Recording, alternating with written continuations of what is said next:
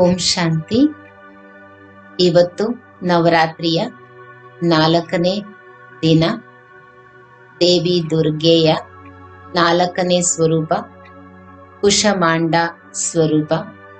ಕುಶಮಾಂಡ ದೇವಿಗೆ ಅಷ್ಟಭುಜಾಧಾರಿ ಅಂತಲೂ ಹೇಳಲಾಗುತ್ತದೆ.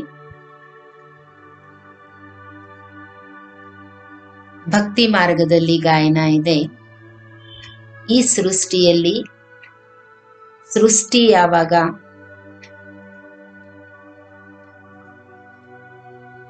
ಯಾವಾಗ ಸೃಷ್ಟಿ ರಚನೆ ಆಗಿಲ್ಲವೋ, ಅಂಧಕಾರ ಇತ್ತೋ, ಆ ಸಮಯದಲ್ಲಿ ದೇವಿ ಅಷ್ಟಭುಜಾಧಾರಿಯಾಗಿ ಬ್ರಹ್ಮಾಂಡದ ಸ್ಥಾಪನೆ ಮಾಡಿದಳು ಅಂತ ಭಕ್ತಿ ಮಾರ್ಗದ ಗಾಯನ ಇದೆ. ಇದರ ಆಧ್ಯಾತ್ಮಿಕ ಅರ್ಥ ಆಗಿದೆ.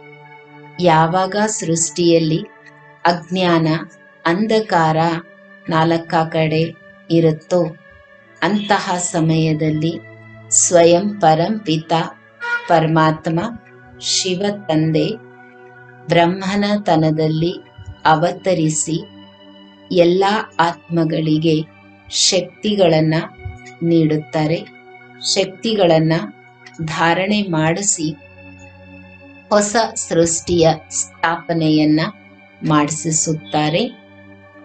ನಿನ್ನೆ ಮೂರನೇ ದಿನ ನಾವು ನೋಡಿದ್ವಿ, ಸಹಜ ರಾಜಯೋಗದಿಂದ ನಮಗೆ ಅಷ್ಟ ಶಕ್ತಿಗಳು ಪ್ರಾಪ್ತಿಯಾಗುತ್ತೆ.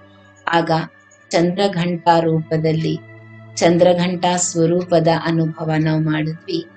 ಇಂದು ಆ ಅಷ್ಟ ಶಕ್ತಿಗಳು ಅಷ್ಟ ಭುಜಧಾರಿಯಾಗಿ ಇಡೀ ವಿಶ್ವಕ್ಕೆ ಅಷ್ಟ ಶಕ್ತಿಗಳನ್ನ ಶುದ್ಧ ಸಂಕಲ್ಪಗಳನ್ನ, ಯೋಗದ ವೈಬ್ರೇಷನ್ಸ್ ಅನ್ನ ಶಕ್ತಿಗಳ ವೈಬ್ರೇಷನ್ಸ್ ಅನ್ನ ಇಡೀ ವಿಶ್ವಕ್ಕೆ ನೀಡೋಣ. ಇದೆ ಅಷ್ಟ ಭುಜಾದಾರಿ ಸ್ವರೂಪದ ಆಧ್ಯಾತ್ಮಿಕ ಓಂ ಶಾಂತಿ.